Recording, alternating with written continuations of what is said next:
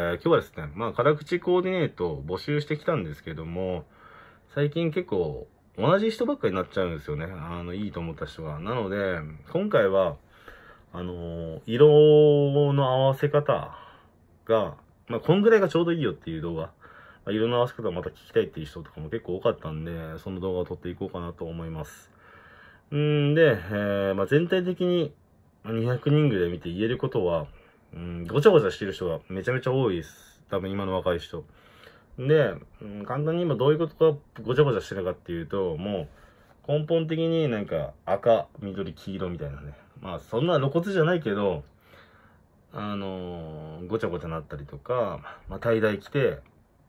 まだ靴もごちゃごちゃした色着てるとか、履いてるか、履いてるとか、まあそういう人、まあ別にそれが悪いわけじゃないんだけど、トータルでバランス見たときに、なんか派手だな、派手すぎるなとか、色の組み合わせおかしいなっていう人が、うーん、めちゃめちゃ多かったですね。まあサイズ感よりも多いかなと思って、今回はその、ちょうどいいぐらいの色の合わせ方っていうので、まあモノトーンと、まあ色味を使ったコーディネートを使ったので、実際このぐらいがちょうどいいっていうので、えー、まあ紹介しようかなと思います。ということで、行ってみよう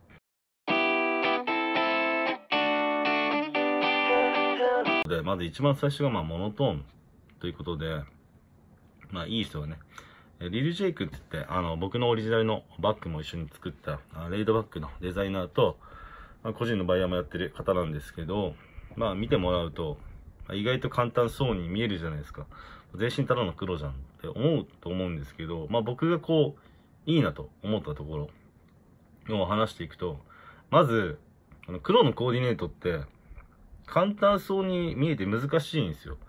なんでかって言ったら、ただの全身黒だけだったら重すぎる。重すぎるので、まあ、小物だったりアクセサリーをアクセントにしないと、ただの真っ黒に、真っ黒クロスケになっちゃうんで、まあそこが難しいなってとこで、まず、あの、上着が、えー、シュプリームのフォトティーね、レイコンのやつ。で、まあ、枠が白じゃないですか。で、えー、スニーカーも普通のエアフォースの真っ黒だったら重いんですけど、そこがまあ、スターウォークのナンバーナイン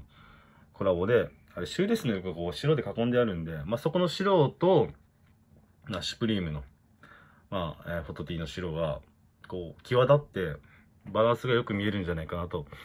思いました。で、えー、本当だったらね、ニットキャップを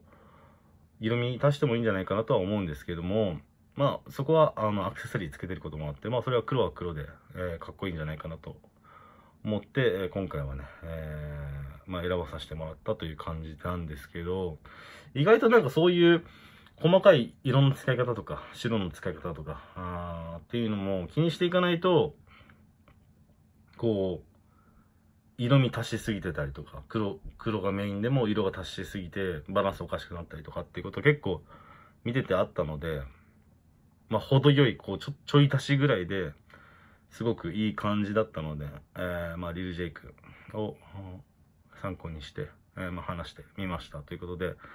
次、で次はですね、まあ、色味を使ったコーディネートということで、前回もね、投稿してくれたモギーさんを使って紹介していくんですけど、まあ、少し前のやつになるんで、パーカーを着てるんですけど、これはまあ T シャツでも、えー、一緒です。はい、ということで、まあ、見てもらって、いいところというか、色の合わせが組み合わせ上手なところが、あ一瞬で、あこういうことねって分かった人は、多分ある程度、色の合わせ方っていうのは、分かってると思うんですけど、多分この時点で分かんない人は、うん、色の合わせ方は分かってないと思います。で、何がいいのかって、もうこれ多分めっちゃ初歩的なことなんですけど、あのー、まあ、キャップがオレンジで、えパーカーが紫。派手じゃないですか。まあ、オレンジと紫。でも、ショーツ挟んでの、えっ、ー、と、マインドシーカーのバンズが、えー、色味がオレンジと紫で、まあ、リンクしてるっていうところで、こう、派手なやつでもうまくまとめてる。ので、そこまで派手に見えないというか、まあ、そういうところを理解して、えっ、ー、と、ファッション組み立てていかないと、例えば、ここになんか T シャツ緑入れたりとかすると、もうごちゃごちゃもう、あの、オレンジ、緑、紫みたいな。なんかそんな感じになってる人がめちゃめちゃ送っていただいた人多くて。なので、まあ、そういう根本的な、まあ、靴の色味の合わせ方とか、T シャツの色味の合わせ方とか、まあ、小物もリンクさせて色を合わせたりとかっていうところを、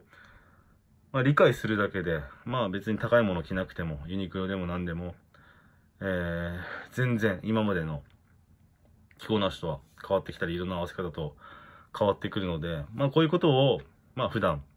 えー、気にして、えー、色の合わせ方をね、やっていけばいいよということで、今日は、えー、動画撮ってみました。まあ、具体的にね、どういうところがいいかっていうのも話したので、あまあ少しでも勉強になればいいなと思って、えー、投稿していくので、まあ、これからまた初心者の人もぜひ見ていただけたらなと思います。ということで、今日は動画、撮ります。ボーイ。